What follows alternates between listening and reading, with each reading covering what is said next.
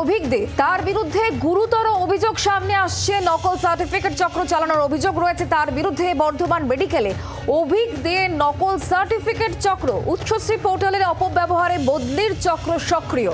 সিবিআইকে এই মর্মে নালিশ বিজেপির তরফ থেকে। অভিজ্ঞদের বিরুদ্ধে গুরুতর অভিযোগ, নকল সার্টিফিকেট চক্র চালানোর অভিযোগ করা হচ্ছে তার বিরুদ্ধে এবং যেটা জানা যাচ্ছে, বর্ধমান মেডিকেলে অভিজ্ঞদের এই নকল সার্টিফিকেটের চক্র চলতো। উচ্চশ্রী পোর্টাল, সেই পোর্টালের অপব্যবহারে বদলির চক্র সক্রিয়। সিবিআইকে এই মর্মের নালিশ করল বিজেপি। অরূপ সাহা, লাহা আমাদের প্রতিনিধি রয়েছেন আমাদের সঙ্গে টেলিফোন লাইনে। অরূপের সঙ্গে কথা বলব। অরূপ, ঠিক কি অভিযোগ করা হচ্ছে অভিজ্ঞদের বিরুদ্ধে? কি জানতে পারছ?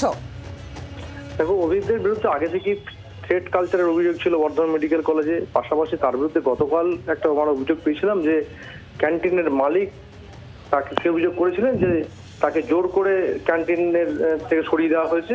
অন্য একজনকে তাকে সেখানে বরাদ দেওয়া হয়েছে। পাশাপাশি আজ যেটা উঠে আসছে, বিজেপির পক্ষ থেকে যে অভিযোগ করা হয়েছে সিবিআইয়ের কাছে, যে উচ্চশ্রী প্রকল্পের মাধ্যমে যে শিক্ষক বদলি হয়েছে রাজ্যে, অর্থাৎ হাই স্কুল এবং মাধ্যমিক প্রাইমারি স্কুলে সেখানে দেখা দেখা যাচ্ছে বেশিরভাগ মেডিকেল গ্রাউন্ডে তাদের বদলির আবেদন করেছেন এবং তারা ঘরের কাছে পোস্টিং পেয়েছেন। অথচ যারা যারা সত্যিকারের বদলির জন্য আবেদন করেছিলেন, যাদের বদলির প্রয়োজন আছে, যারা সত্যিকার অসুস্থ, তাদের বদলি হয়নি, কিন্তু যারা সুস্থ মানুষ, সুস্থ শিক্ষক, তারা আবেদন করেছেন এবং বেশিরভাগটাই প্রায় সিংহভাগ তারা মেডিকেল গ্রাউন্ড অর্থাৎ মেডিকেল সার্টিফিকেট দিয়ে তারা ঘরের কাছে পোস্টিং পেয়েছেন।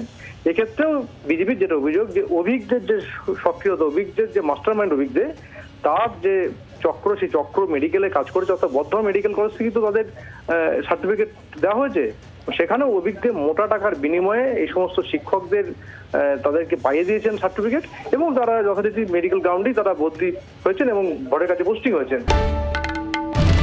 বাংলার আওয়াজ, বাঙালির আবেগ। জি, চব্বিশ ঘণ্টা।